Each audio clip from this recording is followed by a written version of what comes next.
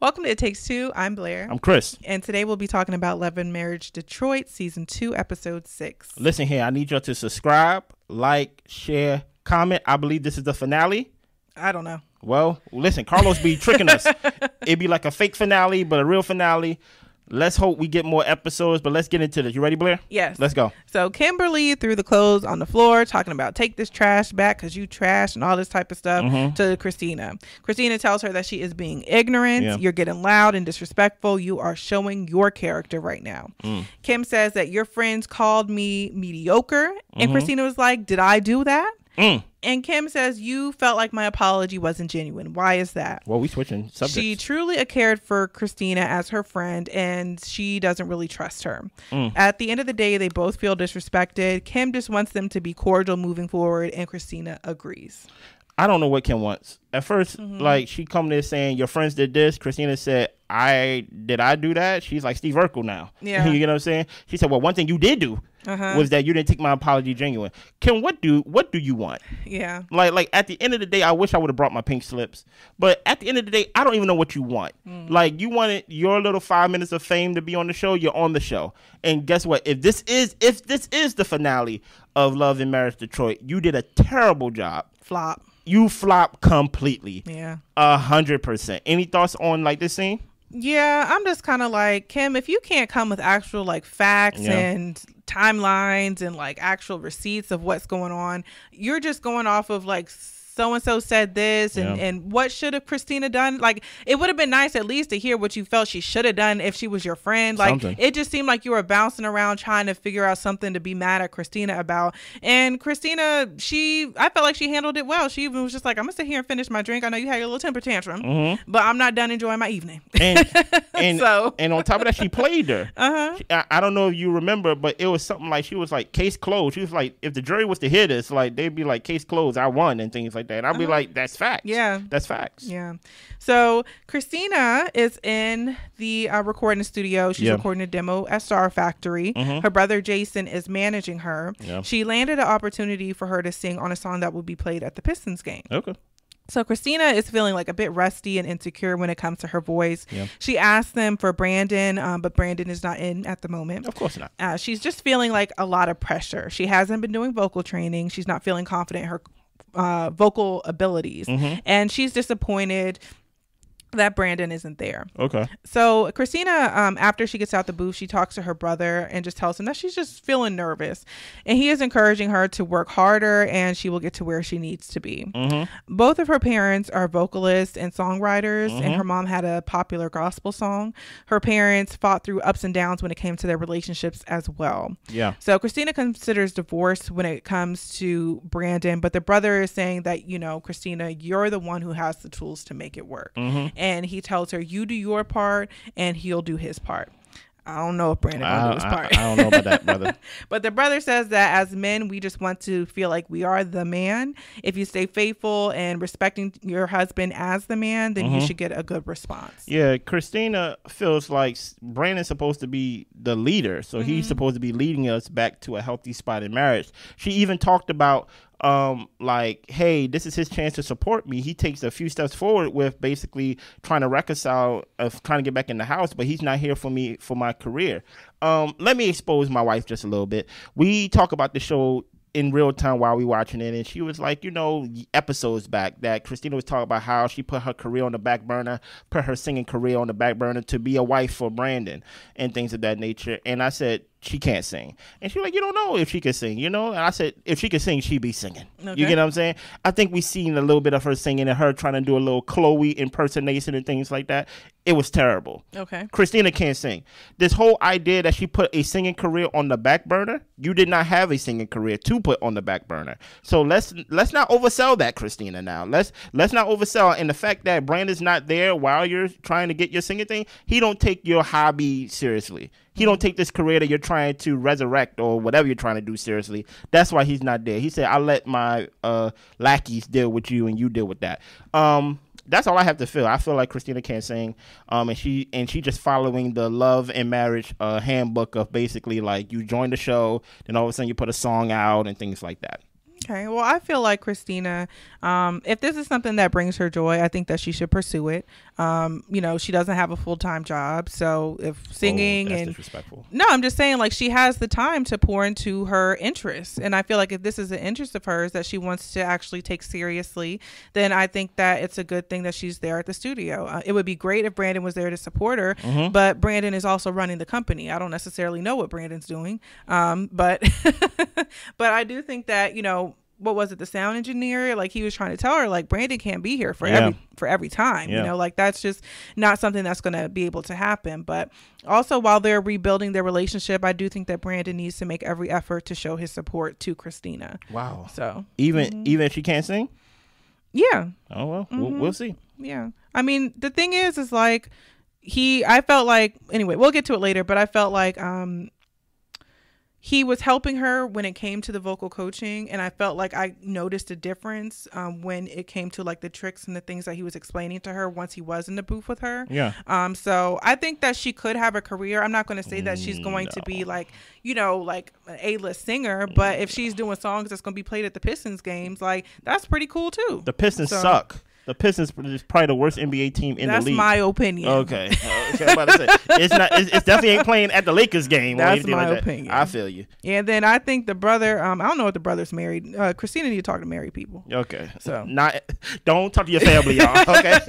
Let's keep going. So Anthony meets up with his aunt on his father's side. Uh, Anthony's father passed away, uh, and his grandmother also passed away. So that's his aunt's brother and mother. R.I.P. He tries to make sure his kids are okay when he brings his dad up. And the aunt says, you know, you just need to feel what you need to feel. Like Yeah. no one can decide when your grief period is over. Mm-hmm. His father did a lot for the community and the youth. Um, and there was a foundation um, that they had, and that's where Anthony drew the man's movement from in order to continue his father's legacy. Yeah. The aunt also battled with cancer, and Anthony didn't know if he was going to lose his aunt as well. Yeah. So he's super happy and blessed that she's here today. Mm-hmm. And the aunt, you know, reassures him that his dad left a wonderful legacy, and she applauds Anthony for continuing the legacy. I will say this though, they need to do more scenes. Anthony, you need more backstory to your character Yeah. than the whole. You sitting around bosses. You need to you get up like like we popping, yeah. we popping. Show, like, show us more of who you are and show us more of who your father were because then that would actually give us insight of why you into the man movement Mm-hmm. because it kind of come off with this man movement thing as if you're like oh yeah we men and things like that but if you actually show us the backstory in season one of your father was actually a staple in the community helping out teenagers and things of that nature it would see it, it, it would give us insight of why you have a desire to to continue to do something for the community in the community besides just basically we gonna put on suits and walk. Yeah, you get what i'm saying? the because block. then we mm-hmm. would give you the grace of being like it got to start somewhere He's trying to figure it out. exactly Right. but then it but if you always talk about how much you're popping and how much you're a boss and your events be looking exactly bare. i'll be like come on now but if you actually put yourself in your father's light of i i miss my father my father passed away but i actually want to continue his legacy then it would actually develop your character more and then maybe you will be a staple on the show Mm-hmm. in my opinion maybe. Uh, Kristina and Brandon come in for um, her next session Yeah. to do the demo. He goes into the booth with her and coaches her through her like lines or whatever. Yeah. And he was very supportive. So Yeah. she ended up getting it with Brandon's directions. okay So Kristina tells Brandon that Anthony asked her to be on the podcast, Mm-hmm. and Brandon says, "Well, Anthony's going to be surprised when I walk in there." Mm. Um, he didn't like how Anthony spoke to Chelsea before, Mm-hmm. and when the lights and cameras turn on, he doesn't know which Anthony is going to show up. that's true Chelsea is going to be a part of Kristina's marketing team, so Mm-hmm. they're also going to have Chelsea at the podcast as well. that's weird but she okay. asked him to come back home, and Brandon said that he is there. Yeah, I actually Mm-hmm. I actually broke in the house and I'm there. right? Um I will say this. Um well, none of y'all will know, but um I am a musician. Mm-hmm. Right, so I kind of have some insight of when it comes to singing and things of that nature. Um, the first sign that someone can't sing and they're trying to sing is they sing high Mm. because they're trying to basically win you over. Like, oh, I can sing high, I can do all these things. Brandon's not gonna be with you on your performances and things of that nature, as Blair was saying in the previous things. I think um, outside of this career, I think she needs to learn how to sing. In my opinion, I think she I think she's like a singer that like you find in the church. The, fr- the one of the worst things that can happen in, in the church is that you sing in the church and everybody in the church will champion you like oh my goodness you have a great voice and things of that nature and then you get out in the real world and you realize you sound like what you sounded like Okay. you get what i'm saying especially since her parents was raised in the church and she uh, her mother had a a a a, a, hit mm. and things like that. So i think she's basically the only people that basically told her that she could sing and things of that nature is probably people that came from the church especially since she's a preacher's kid. Mm. But once you get out to the real world and things of that nature especially in that detroit area that detroit chicago are like great musicians great singers you will realize how behind you are. So i would say before you say you want to make it a career actually like put the work in. Mm. Put the real work in. And then let's see season three if you can sing Yeah. Um, my only thoughts are I'm glad Brandon came. Yeah. Mm-hmm. I'm glad he showed his support and he walked her through this. I felt like that was a big deal for her and she appreciated it. Um, I think they also need to set realistic expectations of how Brandon can show up in their marriage, Yeah. so that way um, there's uh, understanding of um, the best way that they can show that support and love to each other. yeah Now, I do think it's weird that Chelsea is going to be coming to the podcast. Very like, just weird. because you're in marketing doesn't mean you get to come on my events with me. But I think that they want to get Chelsea on the show, honestly. I think mm. that's Kristina's best friend. She's trying to help her friend out. So, Mm. I, and listen here, when you're the head of the show, or Yeah. or at least when you're featured as one of the head couples, you get to get your friend in there, Kimberly. You get what I'm saying? so Kolby's aunt arrives at Kolby's house. yes. And she tells her aunt how she was dealing with gender disappointment when she found out she was having another girl. Yeah.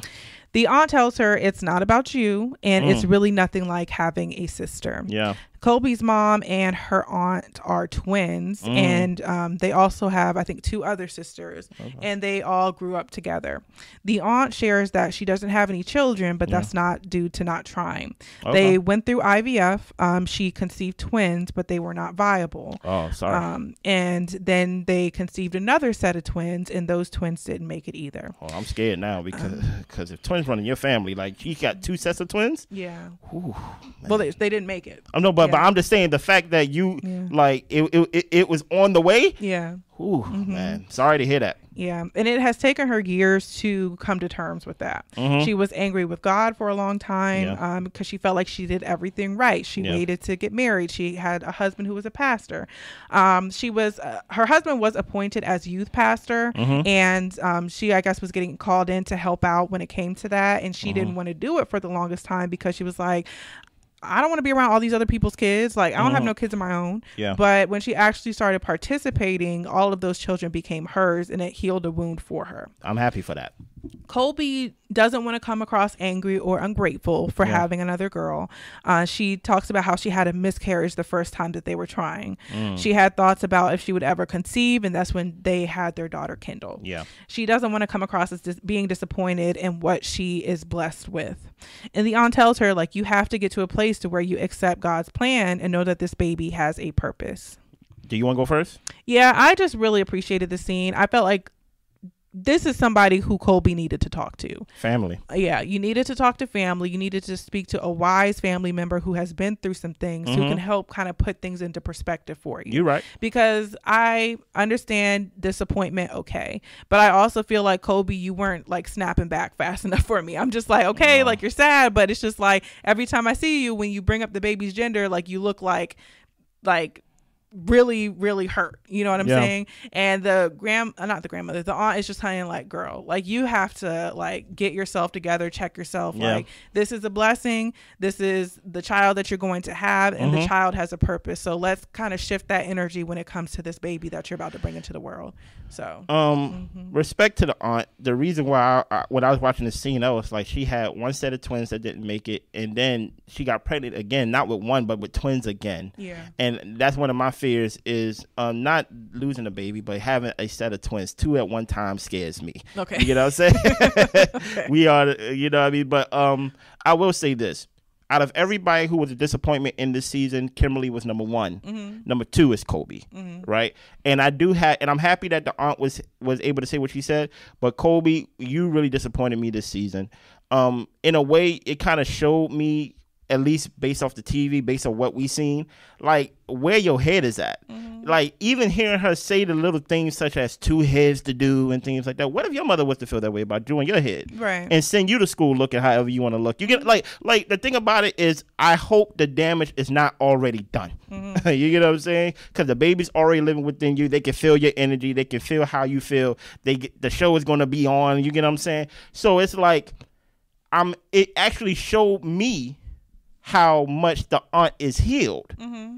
I I ain't really think about Kobe that much in this scene. I thought about the aunt because as someone who was trying to have kids, talking from the aunt perspective, to hear her niece talk about complaining oh, the way complaining, that she is. Yeah. any other family member probably would have snapped Mhm. on their niece because they feel like they in a position to because I'm your aunt. You get what Mm-hmm. I'm saying? So the fact that the aunt was able to basically talk her through it kind of makes me respect the aunt even more. Like, oh, you're really healed from this. Yeah. You actually like can can not some people feel justified because they're like, I'm angry at the situation, and now I can hear how ungrateful you are. Now I feel justified being angry at you. The aunt did not do that. Yeah. So uh, respect to that, and to hear the aunt basically living close to a parallel life of her niece. You got Russell over here trying to become a pastor or a minister of some sort and things of that nature. So it's like Kobe. I hope for uh, upcoming episodes we see a character shift to where you're not as bratty, you're not as ungrateful, you're not as coming off as someone selfish and things of that nature.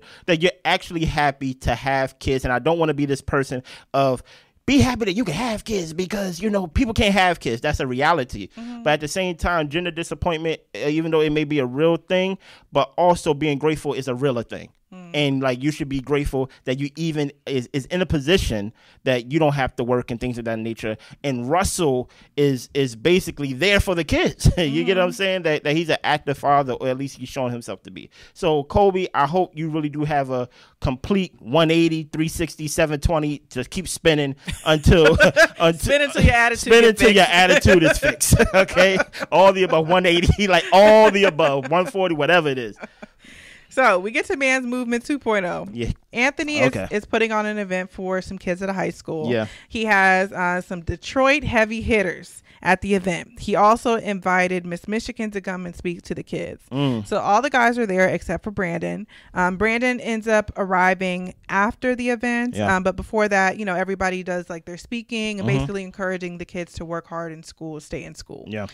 So um, Anthony feels like Brandon let the kids down. Wait, what? because he wasn't at the event. Brandon feels like Anthony needs to apologize to Chelsea, and Anthony tells him never in life would he do that. Do you see what I mean, Anthony? You take one step forward and you about to take three steps back. Brandon is like, Well, you didn't really need to call her a bird, and Anthony tells him Chelsea disrespected his wife Okay. after you disrespected her. Uh, I Um, mean, come on now. I mean, come on now. Even in this conversation, he keeps talking about how Chelsea's a bird. Yeah. And he said, you know, why would you have Kobe and Latoya around her? Like Brandon didn't even jump in when Chelsea was going at them. Yeah. Russell says, well, look, all the ladies can be in the same space and just Mm-hmm. not talk. And Anthony tells him that, um, you know, she's not popping. Chelsea isn't popping. You see what I mean? I don't know what's up with Anthony and all this popping type of talk. Nah, it is so going on. weird to me. like, what does it even matter? Like, You I give you give a person a TV show, they are they thinking they are Bill Cosby or whatever, or, Mm, or, oh. or like whatever. You well, you know it is. What it is. Shout out to Bill William. Brandon says that she is popping and you are Mhm. throwing shots. Like he is coming man to man to Anthony and Yeah. trying to rectify the situation. And Anthony says that he will promise to just stay out of her way. I think this is one of those situations which, unfortunately, um, some guys feel like they can talk crazy to women who don't have a man in their lives. And I feel like Anthony has gotten beside himself Mm. Come on, because there is no man in Chelsea's life to check Anthony the way that he needs to be checked. come on, Blair. Um, I feel like Brandon is trying to do it, but Anthony still has like little respect for Brandon. So he's like, I'll stay out her way, but I wouldn't apologize. I feel like if Russell came to him with some heat about Kobe's friend, Anthony would have a different approach. Ooh. So I think Anthony knows who's to, who to play with, and I think it's unfortunate that he would um, treat people he doesn't deem as important the way that he's treating people. It's a really ugly trait. Blair, if you Mm-hmm. go touch it, touch it. He's a coward. You get what I'm saying? Basically, like hundred percent, I was gonna take the, the the words right out of your mouth right then and there Mm-hmm. when it came to him basically feeling like he can talk to women any type of way because there's no man there, and that basically my wife's uh, uh basically she he's be she is being defended Chelsea by her friend's husband Mm-hmm. because somebody got to say something, and Brand and it, it's gonna be hard for Anthony to respect that because at the end of the day. Brandon's just doing it as a favor. Yeah. But if Chelsea had a man that's basically like, listen here, I will put hands on you if you talk to my girl like that. Mm-hmm. You will see a lot of that like man movement bravo stuff go out the window very fast. You get what Mm-hmm. I'm saying? So that's what I'm saying. That's what I don't really like about Anthony because he he gives off as he's he's a big guy, but really he keeps going against women. Yeah. He keeps wanting to talk to women and things like that. And, it- it's weird. And even when he was saying Brandon didn't step in when Chelsea was going at Latoya, I'm just like, why would Brandon need to step in? These women are talking to each other. Yeah. They can handle a conversation. Yeah. Like why why would Brandon need to step in to do what? Like, yeah. That's what I'm saying. Mm. Uh, but Brandon ends up moving back in the house. Yeah. The kids are happy to see him. The girls talk about how they were sad and angry with him Yeah. um, when he was gone. And that is where we end the episode. Question: Yeah. Do you think their marriage gonna work? Mm. Define work. are they going to stay together? Yes. I, I think they. I'm gonna say the exact same thing. they're thing. gonna stay together. Yeah. But is it going to be a happy marriage? It I don't think so. Because Brandon, I don't think he knows what he did wrong. Yeah. He's just gonna keep buying rings and and getting in the studio to make Kristina feel better, and Yeah. she's gonna accept that as good enough. So Yeah, n- not Mm-hmm. not to break the fourth wall too much. I feel like this storyline was played out for the show Mm-hmm. because Brandon literally did nothing to get back in that house. right, Literally nothing. Mm-hmm. literally all all he did to get back in that house was leave the house. yeah, Like it, it really made no sense. And for them to basically cap the season off, in my opinion, of we're back together as a family, it's like, okay, that's probably why y'all only had six episodes. Y'all really needed something to basically give some type of story to this season. Um, Kristina's not leaving Brandon, especially if she want to be a singer. Or especially since Blair said she don't work full time, so I think I'm thinking they just gonna stay married and things of that nature. Um, and we go see more. Hopefully, there's a season three. Hopefully, there's a season two, part 2 You get what I'm saying? And we see more. Um, anything else you want to add to the show to like this season? that's all I got. Listen here. Make sure y'all follow us for Love is Blind. Married at First Sight comes out this week. Ready to Love come out this month. Uh, Sister Wives, uh, Real Housewives of Potomac. Make sure y'all watching that. Um, a lot of shows is coming out, and we are trying to review all of them. Mm-hmm. We are trying to be the hub for all your favorite shows. Come to us. yeah, come discuss. Come talk to Blair. Come listen to me holler. Anything else? That's all. Y'all be good. Bye.